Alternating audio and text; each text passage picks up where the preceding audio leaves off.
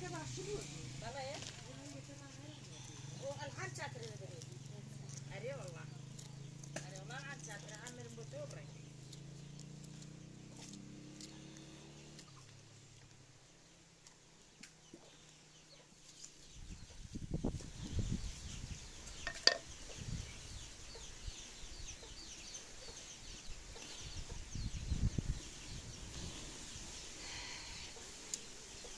Rồi với nhau đó